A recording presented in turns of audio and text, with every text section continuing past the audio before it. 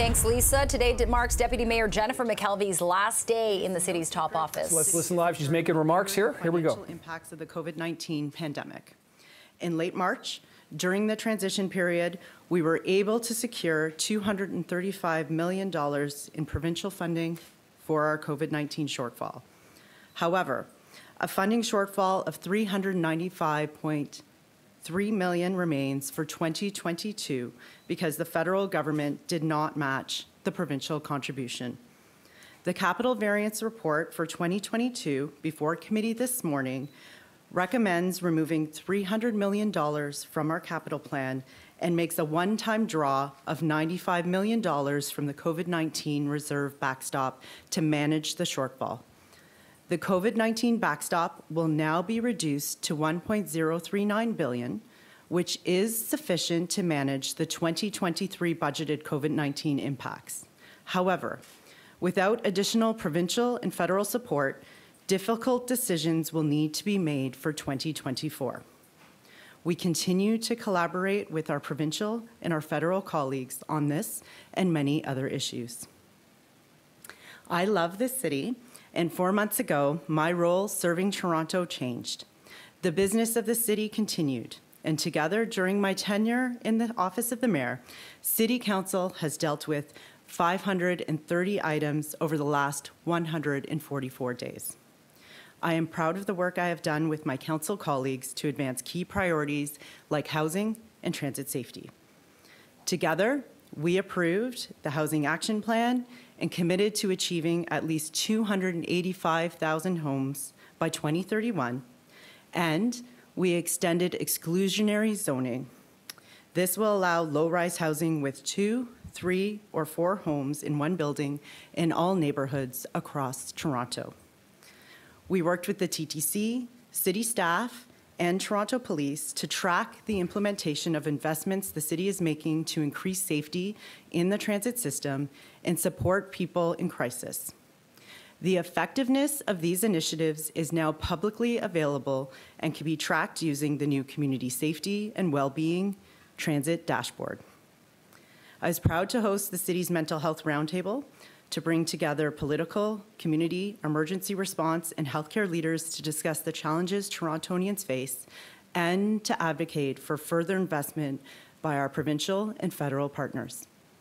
And personally, while I was always dedicated to my community and will always remain so to my community of Scarborough Rouge Park, I am so thankful that I have been able to meet Toronto residents across the city at more than 120 events in all 25 wards.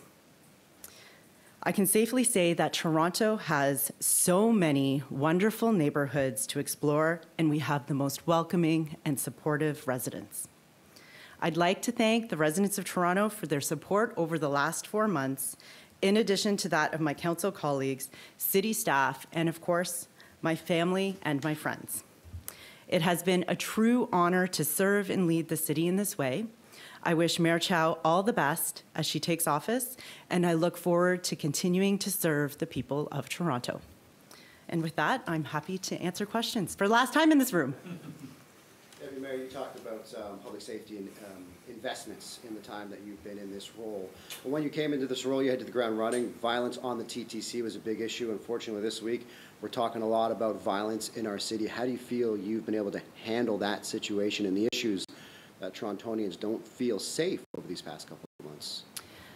So I will say the most heartbreaking part of this job is the morning phone calls that you get from the fire chief saying that there's been a fatality, or the calls you get from the police chief saying that an innocent bystander in the city has been murdered.